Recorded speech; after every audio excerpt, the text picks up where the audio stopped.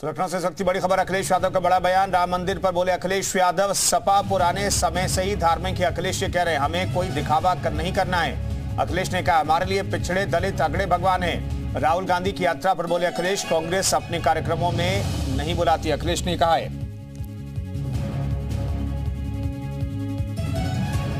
समाजवादी लोग पुराने धार्मिक हैं। बहुत पुराने धार्मिक आप कब से धार्मिक हो? तो सोचिए आप तो हमें करने की क्या ज़रूरत है बताओ? हमें क्या कोई दिखावा करना है? ये हमारे लिए पीडीए महत्वपूर्ण है।